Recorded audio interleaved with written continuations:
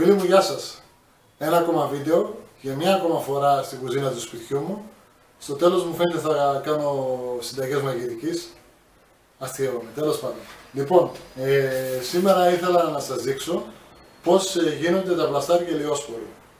Ε, αυτό που χρειαζόμαστε είναι σπόρια. Παίρνουμε σπόρια τα γνωστά που ξέρουμε όλοι και τα τρώμε. Απλά να πω κάτι, ότι εννοείται ότι τα σπόρια πρέπει να είναι ομά και ανάλατα, έτσι. Μην πάτε να βάλετε ψημένα σπόρια γελατισμένα, δεν θα επιτρέψουν ποτέ.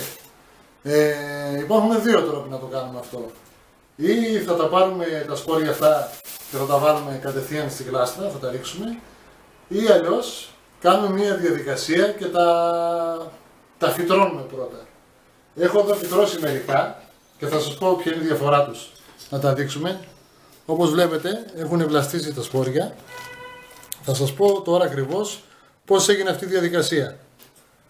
Ε, με το να βλαστήσουμε τα σπόρια κερδίζουμε χρόνο.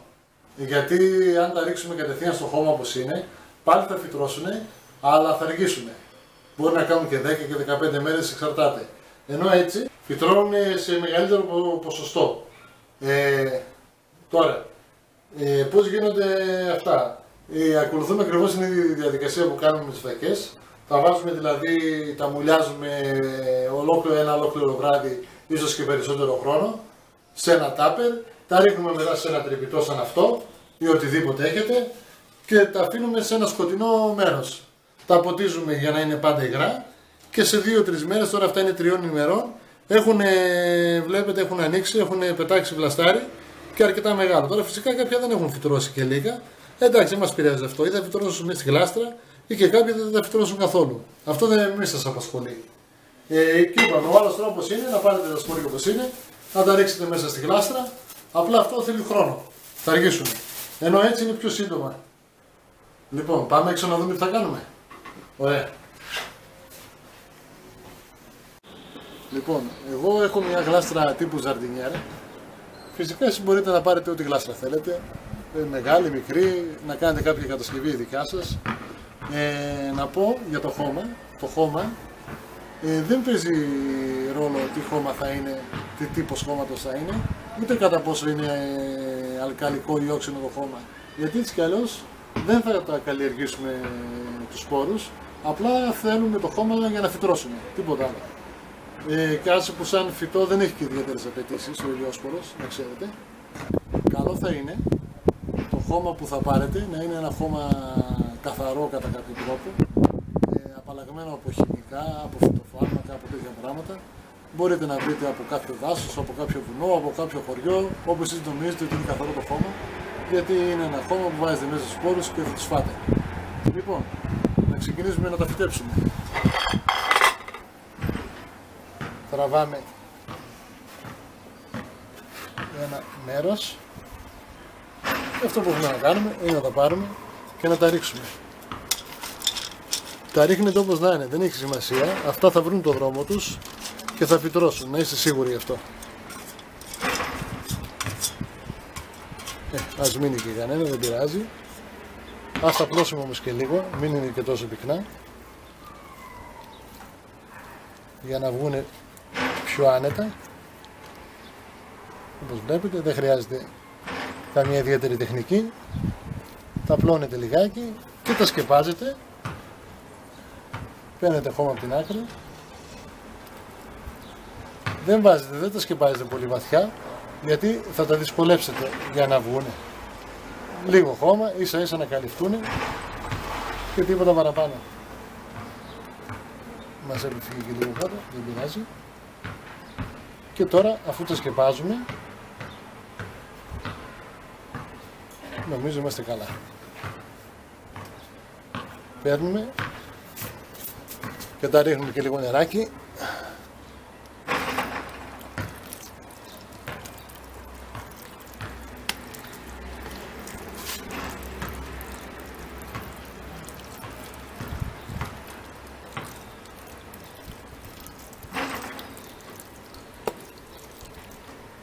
Και είμαστε εντάξει. Αυτό είναι αυτό που έχουμε να κάνουμε τώρα, είναι να περιμένουμε λίγες ημέρες. Ε, αυτό που πρέπει να προσέχουμε είναι να φροντίσουμε το χώμα να το κρατάμε υγρό, δηλαδή σίγουρα μία φορά τη μέρα να τα ποτίζουμε για να μην στεγνώσουν, ειδικά τώρα που είναι καλοκαίρι και έχει ζέστη και τα βαράει ο ήλιος και τίποτα παραπάνω. Θα τα πούμε σε δύο με τρεις μέρες. Έχουν περάσει ακριβώς δύο μέρες και όπως βλέπετε τα πρώτα βλαστάρια έχουν ήδη βγει. Βλέπετε εδώ. Βλέπετε και τα υπόλοιπα τα οποία είναι έτοιμα. Έχουν σηκώσει το χώμα. Και το φυτό έχει πολύ γρήγορη ανάπτυξη. Και στις επόμενες μία-δύο μέρες θα έχουν βγει σχεδόν όλα και θα έχουν μεγαλώσει αρκετά. Αυτό που εμείς έχουμε να κάνουμε είναι να κρατάμε το χώμα υγρό και απλά να περιμένουμε. Οπότε τα λέμε σε δύο-τρεις μέρες ξανά. Έχουν περάσει άλλες δύο μέρες και τα βλαστάρια μας ε, είναι σχεδόν έτοιμα. Ε, φυσικά δεν μεγαλώνουν όλα ακριβώς το ίδιο, αλλά πολλά είναι έτοιμα. Για να δείξουμε τώρα. Ε, περίπου σε αυτό το μέγεθος είναι έτοιμα να τα κόψουμε. Ε, βλέπετε εδώ, αφού έχουν πετάξει τα δύο πρώτα φύλλα, ε, είναι έτοιμα να πετάξουν από κάτω άλλα δύο. Κάπου εδώ τα κόβουμε. Όπως βλέπετε το τσόφλι σηκώνεται και αυτό στον αέρα μαζί με τα φύλλα αλλά με το που ανοίξουν τα φύλλα πέφτει από μόνο του κάτω. Να πω ότι τα κόβουμε με το χέρι σε ένα σημείο λίγο πιο πάνω από το χώμα. Εδώ. Ε, κάποιοι ε, χρησιμοποιούν και κάποια άλλα σπόρια τα οποία τα φυτεύουν για να κάνουν λάδι ε, μπορείτε να φυτέψετε και αυτά. Εγώ νομίζω επειδή έχω δοκιμάσει και τα δύο ότι είναι το ίδιο πράγμα. Δεν έχει μεγάλη διαφορά. Δεν έχει καμία διαφορά θα έλεγα. Καλό θα είναι φυσικά αν μπορείτε οι σπόροι που θα φυτεύετε να είναι βιολογικοί ή ακόμα καλύτερα αν τους καλλιεργείτε εσείς οι ίδιοι. Για να μαζέψουμε και λίγα τώρα. Όπως σας είπα, διαλέγουμε τα πιο μεγάλα. Τα πιο μικρούλια τα αφήνουμε να μεγαλώσουν κι άλλο. Δεν χρειάζεται, δεν πειράζει που δεν είναι όλα στο ίδιο μήκος. Αφήνουμε και μερικά για τις επόμενες ημέρες. Να πω ότι εγώ τώρα εντάξει έβαλα μικρή ποσότητα. Συνήθως βάζω πολύ περισσότερα. Αλλά το έκανα απλά για να σας δείξω.